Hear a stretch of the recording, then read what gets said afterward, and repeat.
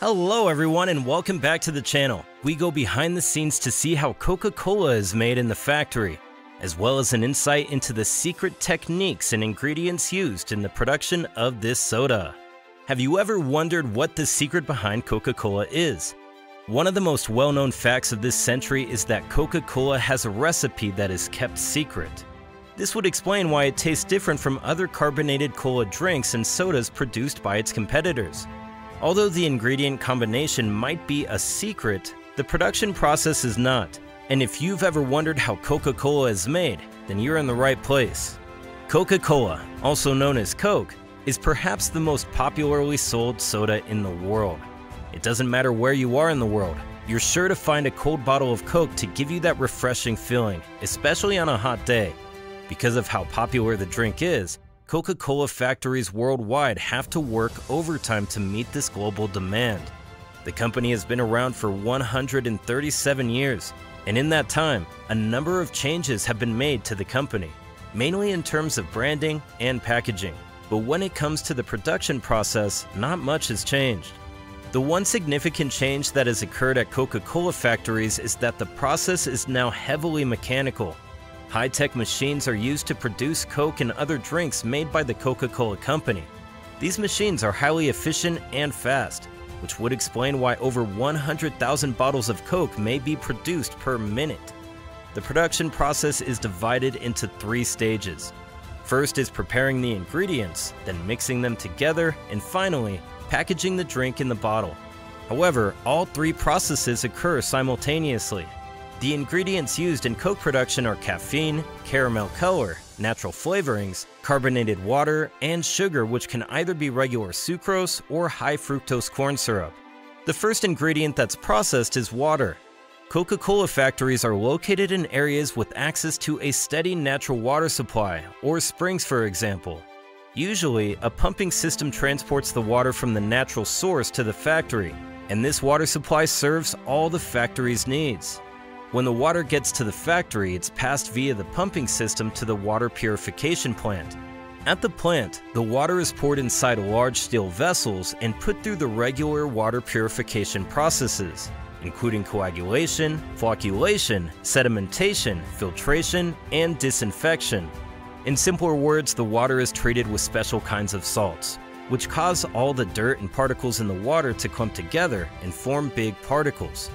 Next, the water is allowed to rest so that these particles can settle at the bottom of these vessels. After that, the clear water at the top is filtered to separate it from the solids. For extra precaution, this clear water is passed through screens of different sizes to remove other dissolved particles and remove bad odors. Finally, the filtered water is treated with chemical disinfectants like chlorine to kill any remaining germs and parasites like bacteria and viruses. At this point, the water is as pure as humanly possible and ready to move on to the next stage of production. When the water is being purified, other ingredients are also being prepared, and one of the most important ones is caffeine. Initially, the caffeine used by Coca-Cola Company was extracted from plants. However, because of the increase in demand and lower cost of production, the company now uses synthetic caffeine. This is made using an unpleasant gas called ammonia, but first, it is detoxified. So don't worry, the purified ammonia is then passed through several chemical processes, which yield about five other compounds before finally producing the desired product, caffeine. This synthetic caffeine is tested and purified before it is sent to the mixing room, where it combines with other ingredients. The next ingredient is sugar, which can be gotten from one of two alternatives. First is sucrose, which is extracted from the root of a plant called sugar beet. Sounds like a great DJ name.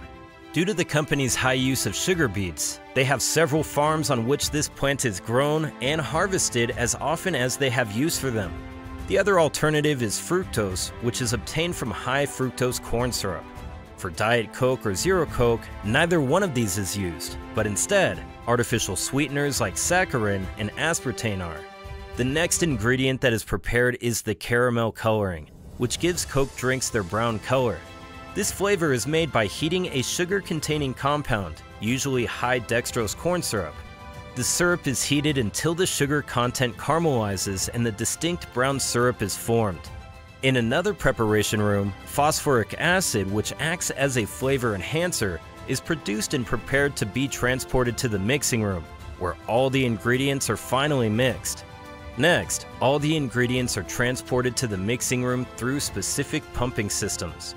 The mixing process takes place in a machine called the syrup maker because, at the end of this process, the mixture formed is called the syrup, which is the base of the Coca-Cola drink. The mixing happens in an orderly fashion, starting with the purified water and then the sugar. This is mixed first for a few seconds before other ingredients are added to the appropriate concentrations.